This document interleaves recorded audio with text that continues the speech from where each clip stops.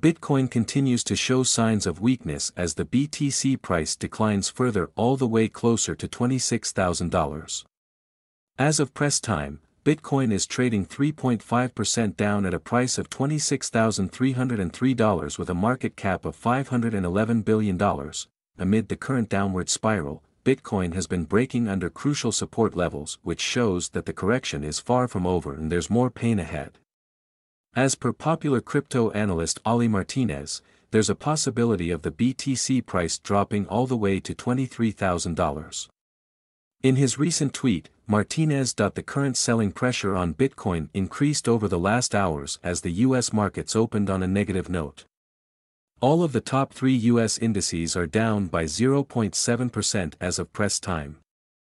As the debate over raising the debt ceiling drags into another day, as the negotiations between the lawmakers continue, investors remain worried about the potential outcome as the deadline of early June approaches, and whether the U.S. will default on its debt. This could potentially send shockwaves across the broader crypto market. Crypto analyst Michael Van de Poppe stated that it wouldn't be prudent to make any fresh entry into Bitcoin at this point. Poppe writes, breaking south, as $27,000 wasn't flipped, which means we'll be testing lower and sweeping $26,000, most likely. Acceleration at the moment, so waiting for a clear bullish divergence to pop up for an entry, he further added, total market capitalization for hashtag crypto is getting into the areas of the 200-week MA and EMA. Moment of truth is coming up.